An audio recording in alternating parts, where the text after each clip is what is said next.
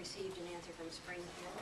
Jen? Um, Springfield would like to meet with uh, staff and discuss the criminalization issue. They asked to do that um, in the next couple of weeks. Good.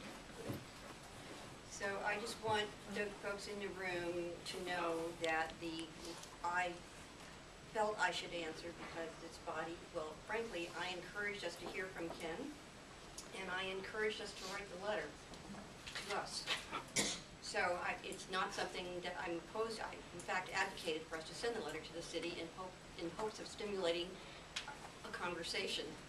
And, uh, and what happened was it went to, uh, the letter went, um, nobody said anything. I brought it up at a council meeting, nobody said anything.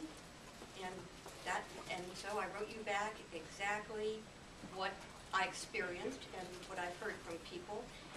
My opinion at all, is what I, what occurred and what I've heard from, from the our council. So it is what it is in that regard. Thank you. We, we appreciate you moving that forward and helping get the conversation going